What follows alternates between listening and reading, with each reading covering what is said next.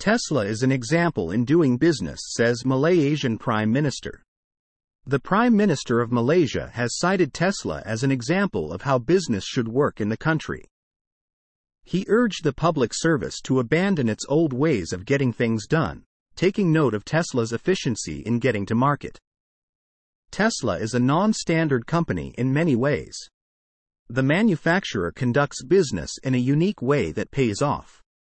If Tesla intends to enter a market and the conditions meet its requirements, then the company develops at lightning speed, changing the ideas of local government agencies and companies about how things should be done.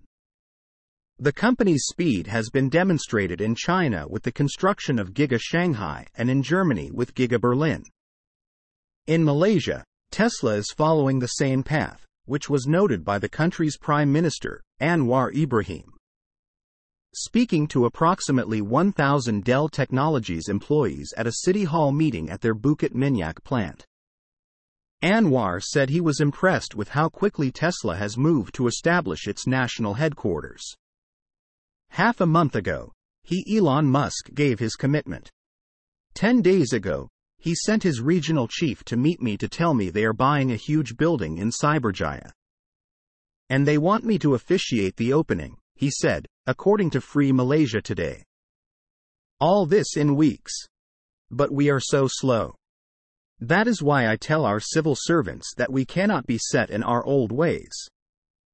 Managing, tender, discuss, commissions.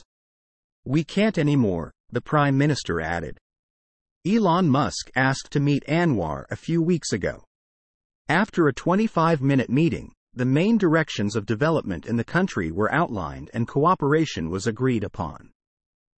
On July 14, the Prime Minister announced that Tesla will establish a headquarters in Malaysia this year, as well as service centers in Selangor. In a July 20 announcement, the Malaysian Investment Development Authority said Tesla's state of the art head office and service center will be located in Cyberjaya. Source Reposted and summarized from Eva Fox at Tesmanian.